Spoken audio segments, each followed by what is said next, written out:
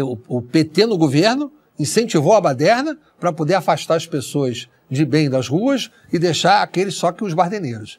Isso foi a forma que acabaram. Então, aquilo acabou. Naquele momento, a Dilma caiu a popularidade dela na metade.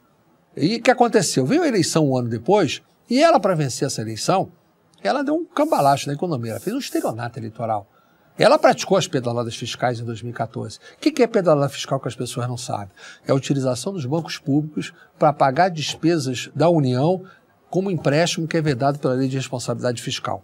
O que, ela fez? Bolsa Família pago pela Caixa, crédito agrícola pago pelo Banco do Brasil, mas isso foi em 2014. Para isso ela se reelegeu. Quando chegou em 2015, antes dela assumir o mandato, o povo já estava pedindo impeachment dela na rua. Essa é a verdade. Eu era candidato a presidente da Câmara, rodava o Brasil inteiro, as pessoas já me pediam impeachment. Na campanha de presidente da Câmara. Quando ela começou o segundo mandato dela em 2015, logo em seguida entraram. O primeiro impeachment que entrou, o primeiro pedido, eu relato nisso, foi do Bolsonaro. Bolsonaro entrou com o primeiro pedido de impeachment contra a Dilma. E, e aí que aconteceu? É, é, a Dilma, ela pagou as pedaladas fiscais de 2014. E tudo que entrou com o pedido de impeachment com base na pedalada fiscal, eu rejeitei. Por quê? Porque eu entendia que aquilo era o primeiro mandato dela. E terminou com o fim do mandato dela em 31 de dezembro de 2014. Porque se o Aécio tivesse ganho a eleição, eu não ia é, ter responsabilizá-la. Então é uma tese política, o mandato dela acabou. E o pessoal não, a, a, defendia que o mandato era uma continuidade que eu tinha que aceitar. E eu, me, eu rejeitei. Até que a, ela tinha uma previsão orçamentária para um superávit fiscal. E de repente virou um déficit. Aí, o que, que ela fez? Mandou uma proposta ao Congresso Nacional para pedir a mudança da meta fiscal, saindo do superávit de 80 bilhões para um déficit de 20 bilhões, ou um superávit de 20 para um déficit de 80, não me lembro bem, mas eram 100 bilhões de diferença. Até aí tudo bem, se o Congresso aprovar, estava legalizado. Só que, antes do Congresso aprovar, ela editou decretos de execução orçamentária como se o Congresso já estivesse aprovado e gastou em cima do reconhecimento que estávamos numa mudança da meta. Isso gerou um crime na lei de responsabilidade fiscal. Aí sim que ela foi responsabilizada. O pedido de impeachment com base nisso foi o que eu autorizei a abertura. Então é importante que as pessoas saibam. É, você autorizou a abertura, mas você não é.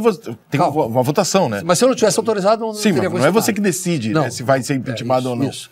E aí o PT, que participou do impeachment do Collor, depois entrou com o impeachment do Itamar Franco, depois entrou com o do Fernando Henrique. Ela tentou, todos os presidentes não, do PT tentou impeachment. O do Fernando Henrique, o Michel Temer era o presidente da Câmara, rejeitou a abertura do processo de impeachment, eles recorreram ao plenário, levaram a votação e perderam a votação. Aí depois, entraram com o do Michel Temer. E contra o Bolsonaro entraram com 50. E cada um mais tapafúrdio com o outro. Eu, eu, li todos do Bolsonaro que eles entraram, nenhum deles tem pé nem cabeça para valer. O que, que, eles alegam para tirar o Bolsonaro, né? É, mais inapetência. Você sabe que tinha impeachment da Dilma, absurdo que entraram também na época. Entraram até por inapetência psicológica, mental, déficit mental por causa das, da, como é que é, do estocar vento, aquelas palhaçadas que a Dilma falava, até por isso entraram com o pedido de impeachment. Então, mas é, Bolsonaro... Até por, pelos depoimentos? É, por tudo. Então o Bolsonaro está fudido também. É, então... enfim, enfim, o que acontece é o seguinte, para eles, quando é dos outros, é refresco, mas quando é em cima deles é golpe. E a Dilma efetivamente praticou um crime de responsabilidade. Isso é importante para esclarecer, porque eu não teria aceito se não tivesse efetivamente aquilo que eu considerei um crime. Aí o plenário é que vai confirmar. E, aliás, no livro eu relato muito bem isso.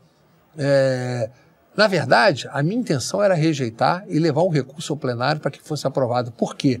Eu acho que a minha decisão monocrática, que é o que prevê o regimento hoje, eu acho que é uma coisa absurda, isso tem que ser mudado. Eu acho que não pode uma única pessoa autorizar um caso tão grave quanto esse. Ele tinha que ter ser submetido ao plenário, que aí a maioria da casa dava muito mais substância a essa decisão. Sim. Mas, infelizmente, o PT não deixou fazer isso. Por quê? O PT entrou no Supremo e obteve duas liminares para impedir que eu levasse um recurso ao plenário.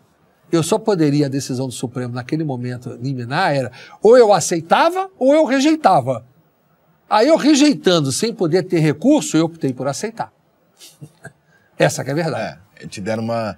Te deixaram numa situação. Eles me deram de, no corner é. achando que eu não ia. Você não tinha como, Que eu ia recuar. Não, tinha, não, não achando que eu ia recuar. Meio termo, você não é, tinha como. Não tinha um meio termo. Então eu, não, eu achava que eu ia recuar com medo. E eu simplesmente fiz. Foi a burrice deles. Era melhor eles terem deixado eu submeter ao plenário, teria sido muito mais possível até deles evitarem.